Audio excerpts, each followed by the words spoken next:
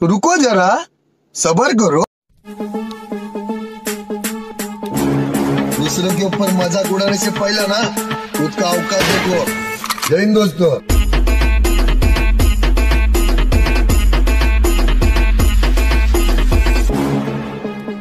क्या बेटा, समझ में आया? बाप बाप होता है बेटा बेटा होता है। आ? पहली फुर्सत में निकल।